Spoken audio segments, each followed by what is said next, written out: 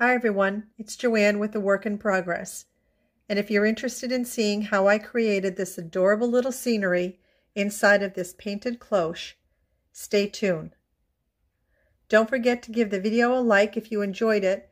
And if you want to see more DIY projects like this, make sure to subscribe and hit the notification bell. Okay, so let me show you what you're going to need to create this project. Uh, first, you'll need a glass cloche uh, with some kind of top on it if you like.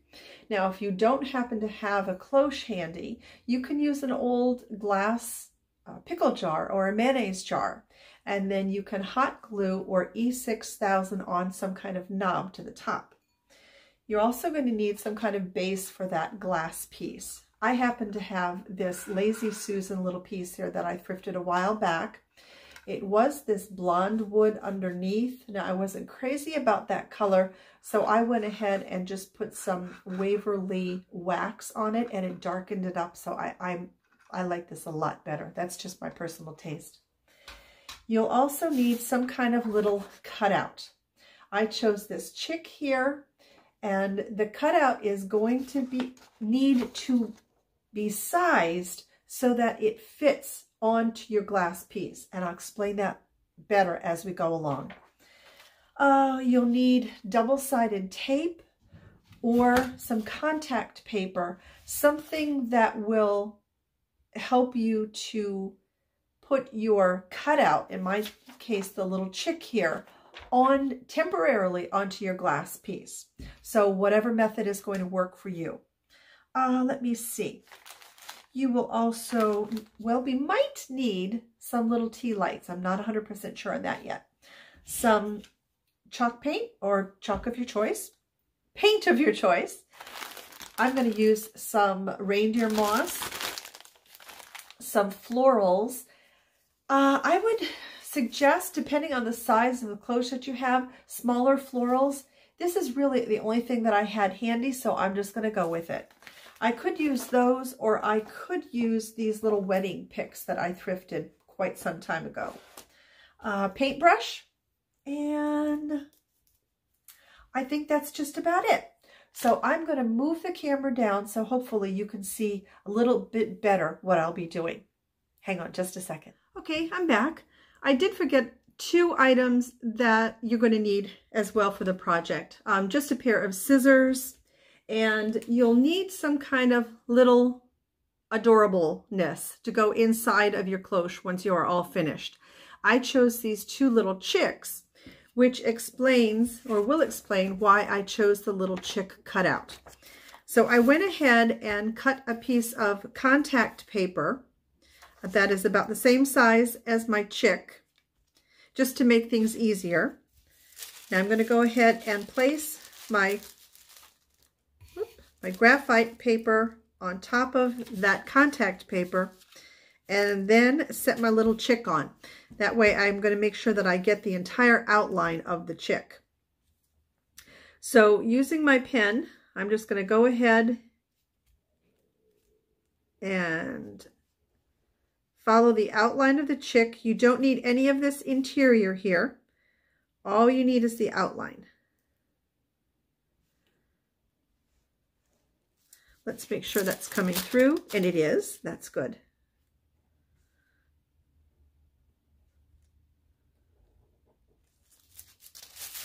Okay, there's our little chick. You can see him right there. I'm going to go ahead and cut him out now. Now, it doesn't matter really what method you use uh, to get your little, I'll call it a decal.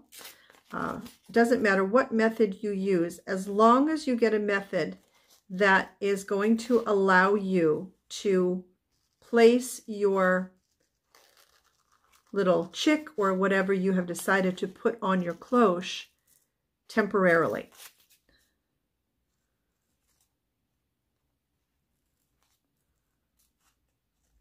Okay, almost finished with him.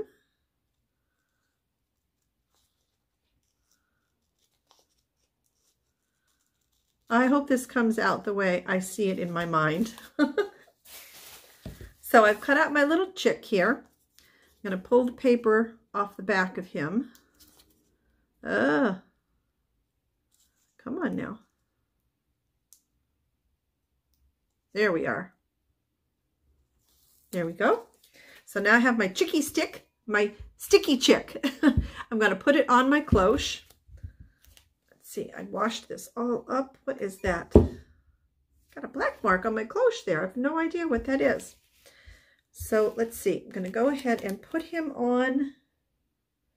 Put him, actually, I'm going to move him down a little bit. There we are. Okay, so I have put him onto the cloche. Oh, I'm try not to get him wrinkled here. There we are. And as tight as you can, at least this is my thought, as tight as you can, get him onto your cloche. Because what we're going to be doing now is taking our chalk paint and painting our cloche. Now you can see where the chick that you have on here, once you peel him off, that's going to be clear. The rest of your cloche is going to be all white. Now just a tip that may help from the paint seeping underneath, brush away from your chick. Don't do up and down strokes. Your upstroke will, um, it may anyway, get paint underneath of your little decal here. And I'm sure this is going to need more than one coat. So I am going to go ahead and finish painting my cloche. And once I've got coverage on it that I am happy with, I'll be back. Okay, everyone, I am back and I have painted two coats of chalk paint on my cloche. And I'm pretty happy with the coverage. I see a little spot right there now, but I will go back and touch that up once the video is finished. So let's go ahead and peel off our little decal here and keep our fingers crossed that the paint did not seep under.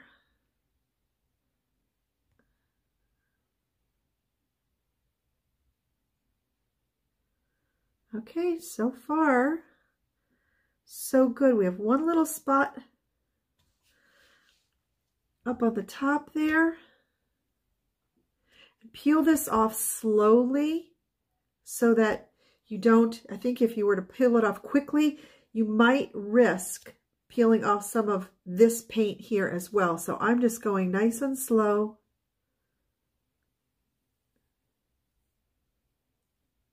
All right, there. Not bad, not bad at all. There's a couple of little spots. There's one little spot right here, you might be able to see where the paint did seep under. So I am just going to scratch this up, that off this little tool that I have here.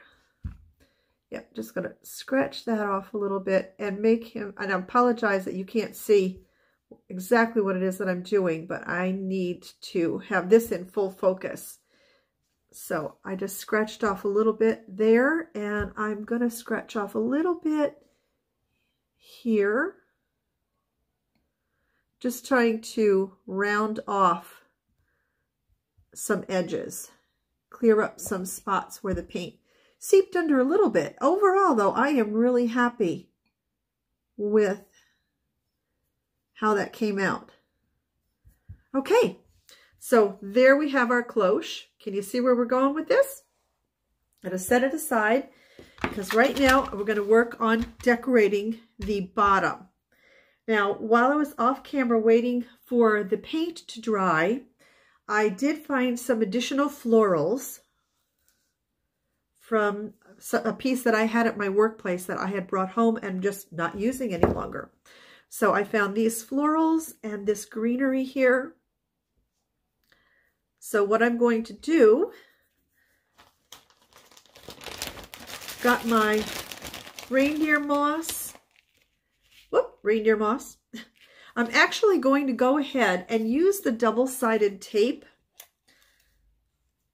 to hopefully stick down this greenery and just kind of hold it into place a little bit. Okay, I'm going to put another piece on top of it. And it's I'm okay using the double-sided tape right now because I'm going to put reindeer moss on top of this. Go. Now I will have to, you can see how that's lying to the side. When I go to put the cloche on, I will have to stand that up so it is not tipped over. Let me go ahead and put the other piece there. And we have this piece right here. There we go. And I'll take another piece of tape. This will just help to hold it down some. Okay. Then I'm going to start taking my reindeer moss and I'm just going to put it down. I'm not going to I'm not going to adhere the reindeer moss. There we go. And luckily I have a little bit more right here. I've said before, I love using reindeer moss, but man, this stuff gets all over everywhere. and I think what I'll do is roll a little bit up and place it behind. Oh yes, look at that. I placed a little roll of the reindeer moss behind that little twig there, and it stood it right up. So that, that was, I'm, I'm happy about that. We do the same over here. I do want to make sure that I get all of my reindeer moss inside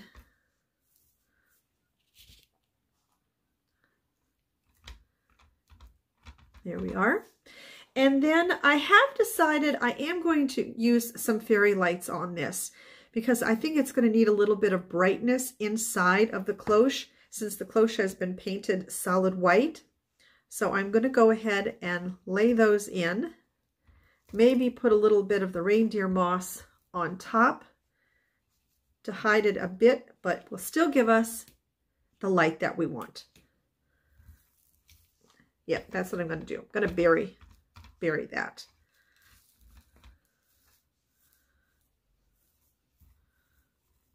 Okay, now I've got my little chicks.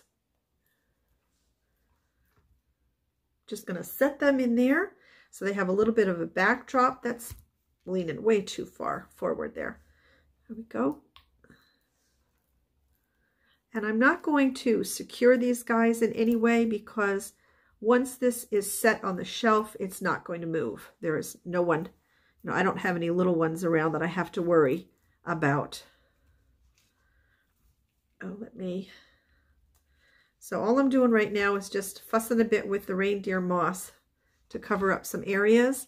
Now I have my florals here. So you can, I mean, you could do anything you want with this. You can, you can use florals, you can use eggs. I mean, it, it's really, the only, what do they say? The only limitation is your creativity, what you can come up with.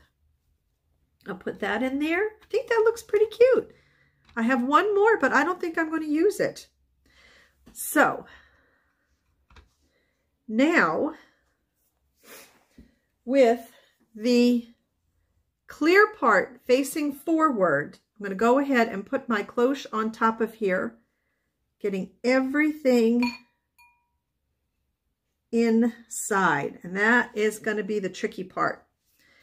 And I have this tool here, which is actually uh, for my nails, but it really comes in handy for a lot of craft uses.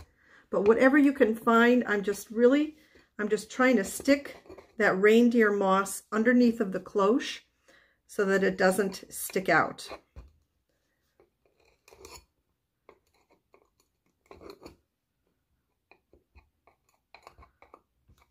Oh, one of my lights just popped out. My little fairy lights. There we go. So I'm just going to go ahead all the way around here and stick everything underneath so that there is nothing sticking out. But there you have it. See, when you peek inside, you have the little, let me make sure it's where I want it to be. Oh, I think I want to turn this around just a little bit. There we go.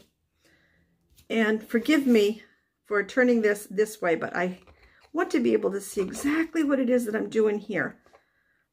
I want to poke this all under So far, I think this has been the trickiest part of this craft is getting everything under, sticking out, getting it all underneath of that cloche. How many times can I say cloche in this video? There we are. Turn it on so it gives us a little bit of light inside. And then there you have it. See, when you peek inside, you have that little scenery in there. I love it. This actually did turn out just the way I was hoping it would. So please, in the comment section down below, if you enjoyed this craft, let me know. Give me a thumbs up. If you think it's something that you're going to try, let me know that too. And maybe you can tag me on Instagram once you finish yours so I can see your finished project. I hope you enjoyed, everyone. And as always, please take very, very good care of yourselves. Bye for now until my next video.